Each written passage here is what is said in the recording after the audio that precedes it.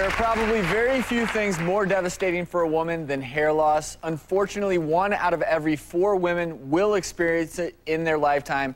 Sure, guys go bald all the time, but when we got a home video from a 26 year old woman struggling with hair loss, we wanted to find more about Lacey's story. I remember looking in the mirror one day. I did one of the swishes back. and When I saw all the thinness in my hair, I, I was terrified something was wrong with me. So I ended up talking to my doctor and I got sent to a specialist who did an actual scalp biopsy on my head and came back just as female pattern hair loss and I was only 20. My hair didn't really fall out all of a sudden. When I was younger, I had a huge head of hair. I don't know if I just didn't notice or it was just gradually thinning.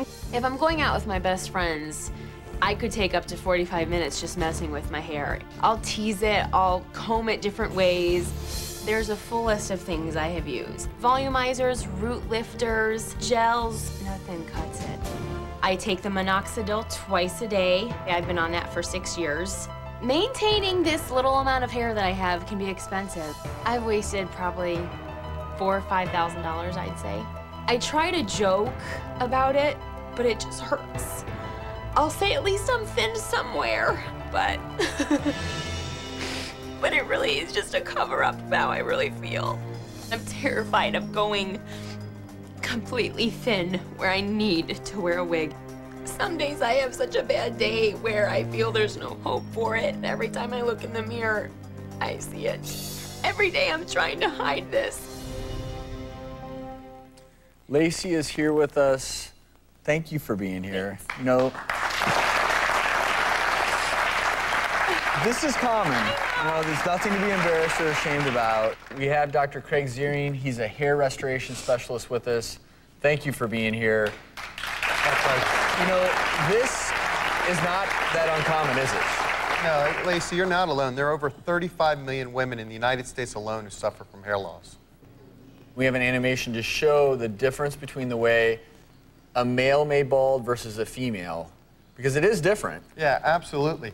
The, most men bald with a discrete bald spot. They often lose from the hairline or a bald spot in the back. But what women do is they maintain the hairline, like you are, Lacey, and then thin diffusely behind it. So what, what exactly, Dr. Ziering, is happening at the level of the hair follicle when we talk about balding and hair loss? What's actually happening in what you're experiencing, Lacey, is the hereditary form. And it's actually a miniaturizing of the hair follicles. So they get weak, wimpy, they lose their color and texture. They just get smaller and smaller and become baby fine, and actually you don't aesthetically see them anymore. You've got some exciting new technologies that you can use to check the thickness of hair, to check the health of hair follicles. Exactly. So, so show me what that funky machine is you've got right there. Yeah, this is a video microscope. It, it comes with our Rivage system. And actually what we can do with this is we can actually look here on Lacey's head, and you can see this is where she's miniaturized and thin, and there's gaps in space. Some of the common drugs that men use, Rogaine, Propecia, etc. Do those work in women? Well, Propecia is a medication that, that is not prescribed for women. Uh, men can use it, but minoxidil is a topical therapy that, that many women use. Um, but there's a new exciting therapy out there that, that I think will be extremely beneficial for Lacey. Because not, nothing's worked for you, right? But that's why you're here. I know, I know. That's why you're here. I know. Dr. Ziering has brought with him what may be the most promising treatment yet for female hair loss. It's available today. Coming up, we'll show you how this breakthrough new laser works and what you can do at home to treat your own hair loss right now.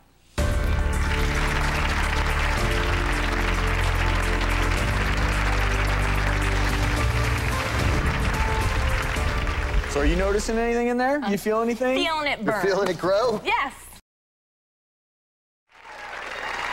I wish there was a fix for this. I would kill for, for thick hair. I try to joke about it, but it just hurts. I'll say at least I'm thin somewhere, but it really is just a cover up of how I really feel. I want help. Hair restoration specialist Dr. Craig Ziering has brought a brand new laser with him to treat Lacey's thinning hair. So I hear some beeping going on. Talk to me about what this laser's doing. Well, this is the Rivage 670, and what this is doing is it's rotating 30 diodes in here, and this light is coming down and giving full coverage over entire scalp right now.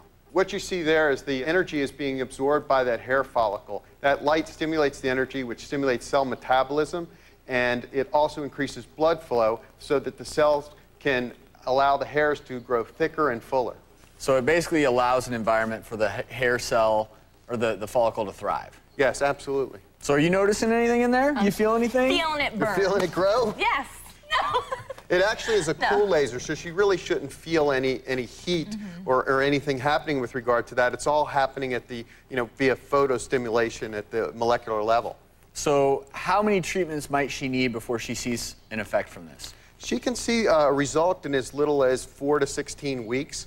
Um, our patients at Advanced Hair Growth Centers, what we do is we give patients a full year of treatment. They come two to three times a week and it's 20 minutes at a time. And how much would a year's treatment be? It's somewhere between $3,000 to $5,000. So let's say she gets a year's treatment, and then Lacey at the end of the year says, okay, I don't want to do this anymore. Will she maintain, or is this laser, does it need to be used for the rest of her life? You'll want to have some kind of maintenance program, and we offer that for our patients. Sometimes it's once a month, once every three months, and other people come because they, they like hanging out with us at the office and come once every couple of weeks. Well, we actually have a before and after photo of a woman named Shelly who used this very same Rivage 670 machine. And it's a pretty impressive difference. And Lacey, I, I want to introduce you to Shelly because she's here in our audience. Shelly, thank you so much for being here. You're basically giving hope to Lacey, right? You're a beautiful woman, and it will work. You just have to be patient. I've been patient for six years. Well, and, so I'll be okay. You remember how we said we brought you here for a reason? Yeah. So the folks at Apira Science have agreed to give you a year's worth of treatment. Thank you. She's going to get these treatments at the Central Ohio Skin Laser Center. And we also have a gift, the makers of the HairMax Laser Comb. So this is actually a portable unit that isn't, I don't think, quite as robust as the laser Rivage, but you can use this at home in the privacy oh, awesome. of your own bedroom. Thank you. I want to thank Dr. Ziering and especially Lacey for sharing so your story, okay? So we wish you the oh, best pleasure. of luck. If you want more information on female hair loss, go to our website, thedoctorstv.com. When we come back, we're tackling another embarrassing problem that affects millions of men as well as women. Take a look at this. From the bedroom to the beach, we've got your breakthrough home remedy to cure your bacne. That's back acne forever.